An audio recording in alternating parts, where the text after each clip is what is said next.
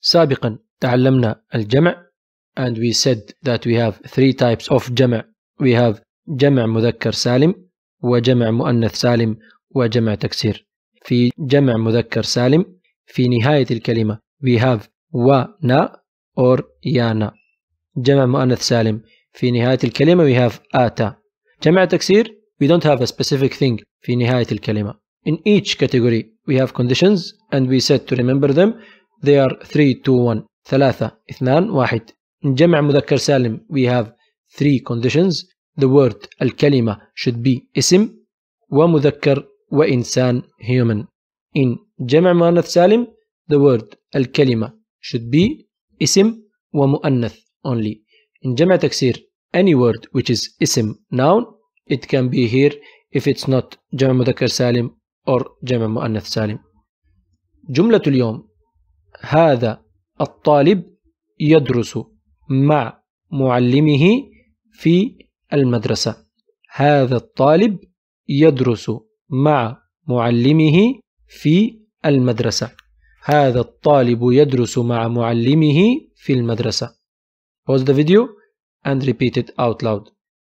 خمسة أربعة ثلاثة اثنان واحد. بسم الله الرحمن الرحيم. مرحبا جميعا. صباح الخير أو مساء الخير أنا عز الدين وأنتم تشاهدون تعلم اللغة العربية مع زد كيف حالكم؟ اليوم الاثنين الاثنين اليوم الاثنين Before we start this video, you should be sure that you remember the lesson of فعل مضارع, the present tense verb. Are you ready? Sure? Okay, let's continue. Do you want to make the future tense form? Okay, we have سوف أو سا. How do we use them? We just add them to the فعل مضارع. What are you waiting for? Yes, just as simple as that. You can close the video now. You want to understand more? Listen. Actually, we use sa when we talk about a near future and sofa for far future. But you can use them as the same. Also, Arabs these days use them as the same.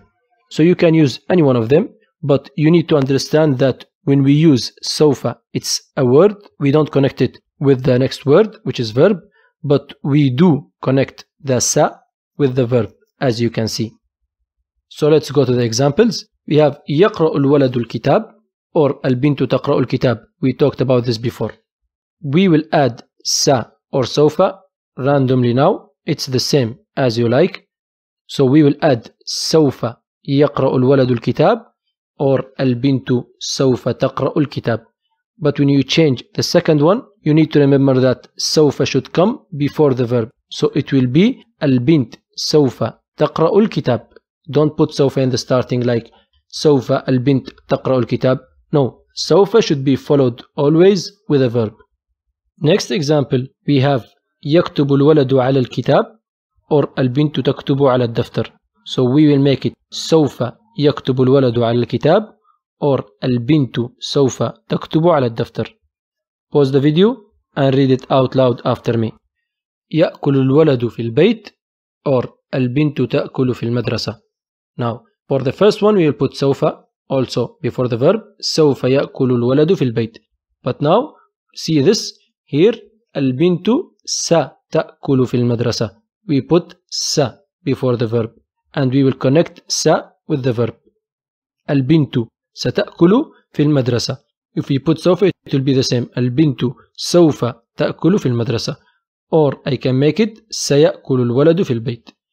Next we have يذهب الولد إلى البيت or البنت تذهب إلى المدرسة.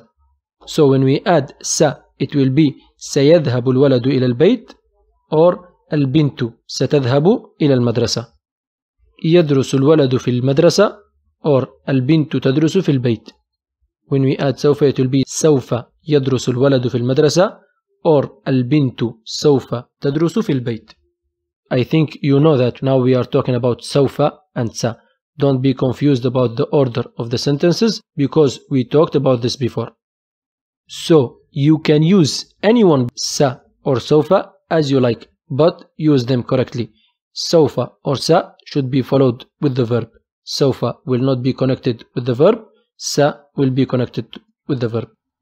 The last thing to say in this video, sa and سوف are signs of the verb or signs of فعل علامات الفعل it will always be followed with verb so the word which come after سوف is always a verb or فعل but don't be confused if sa came as a normal letter or alphabet I don't think there is an easier lesson just add sa or سوف أو سوف before the present tense verb الفعل المضارع now I want you in the comments to choose a verb and to convert it to the future tense.